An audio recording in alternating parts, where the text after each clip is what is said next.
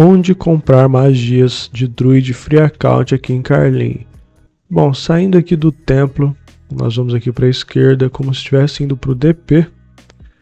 E aí, aqui você vai ir para baixo, para o sul, passando aqui pelos comércios do, de Carlin. E aí, vamos virar aqui para esquerda nessa parte. Vamos aqui para a esquerda. Essas magias aqui você pode comprar de free account nesse local. Para quem gosta de começar em Carlin, upar aqui, seja em Folda ou alguma hunt aqui na redondeza, segue essa rua de pedra aqui, você já vê um druid aqui em cima da estátua, né?